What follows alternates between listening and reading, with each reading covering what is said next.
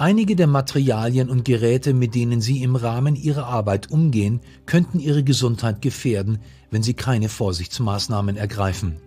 Die Bundesanstalt für Arbeitsschutz und Arbeitsmedizin BAUA fordert den Gebrauch von persönlicher Schutzausrüstung gemeinhin als PSA bezeichnet, überall dort, wo eine begründete Wahrscheinlichkeit vorliegt, dass Verletzungen oder Erkrankungen am Arbeitsplatz verhindert werden müssen.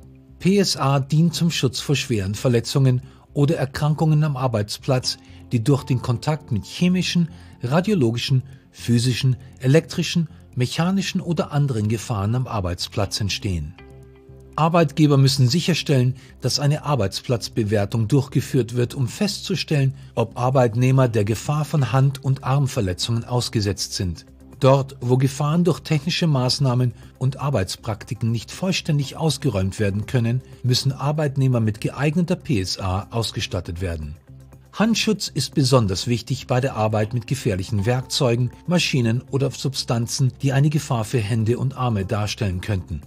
Beim Umgang mit potenziell gefährlichen Materialien wie Elektrowerkzeugen Maschinen mit beweglichen Teilen und giftigen Substanzen muss auf die richtige Auswahl und den richtigen Gebrauch von PSA besonders geachtet werden.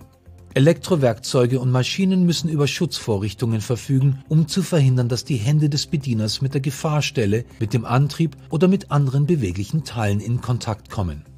Zu den Verletzungen, vor denen sich Arbeitnehmer möglicherweise schützen müssen, gehören Verbrennungen, Prellungen, Abschürfungen, Schnittwunden, Punktionen, Knochenbrüche, Amputationen und Belastungen durch Chemikalien.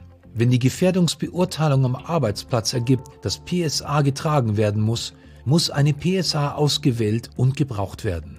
Diese Anforderungen gelten auch für Vorgesetzte und Führungskräfte sowie für alle Besucher, die sich in Gefahrenbereichen aufhalten.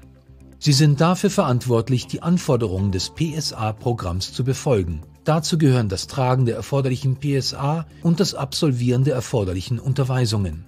Sie sind auch dafür verantwortlich, die PSA bei Bedarf zu pflegen und zu reinigen und Ihren Vorgesetzten unverzüglich über Schäden oder Mängel an der PSA zu unterrichten.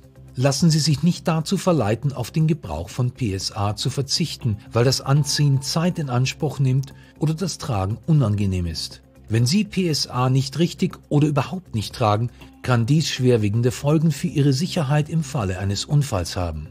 Ein erfolgreiches PSA-Programm erfordert, dass alle Arbeitnehmer, Vorgesetzten und Besucher sich daran halten. Nehmen Sie sich jetzt einen Moment Zeit, um das bisher Gelernte durch die Beantwortung einer Frage praktisch anzuwenden.